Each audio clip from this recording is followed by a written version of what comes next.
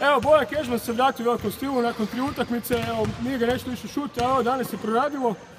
Znači na asistenciju e, Grbašića i Grozdanića, e, koliko točno, 34 poena, Da, ne znam točno koliko je bilo. sve iz 30 savršena rotacija. Evo, ovaj, prvenstveno bi se zahvalio ovaj, svim igračima što su me dobro posluživali, što su prepoznali da, da sam bio vruć. E, te, ali bi naglasio da je e, pobjeda bila isključivo zahvaljujući dobroj kolektivnoj obrani, zagrađivanju, trčanju kontranapada gdje smo se zapravo svi razigrali i nalazili igrače u najboljoj poziciji. Dobro, kako se osjećaš kad, kad si u šuterskoj zoni, onda na, na šta misliš ono, koje... E, kad sam, kad sam u drugoj zoni, kad sam vruć, e, zapravo onda e, vidio kog mi se, mi se nekako e, sužava i vidim samo koš i jednostavno ne razmišljam o, ničem nego samo kako ta lopta ulazi unutra.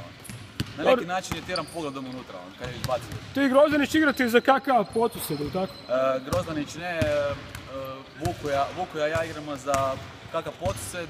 Vuko danas nije mogao biti bit prisutan pošto imamo zbog nekih obaveza u klubu, ali inače evo, ovaj, mi smo, ja sam, mene je Igor zamolio iz vodstva Invicte da im pomognem ove godine ovaj, da naprave što bolji rezultati i iskorak i da osvojimo ligu ove godine.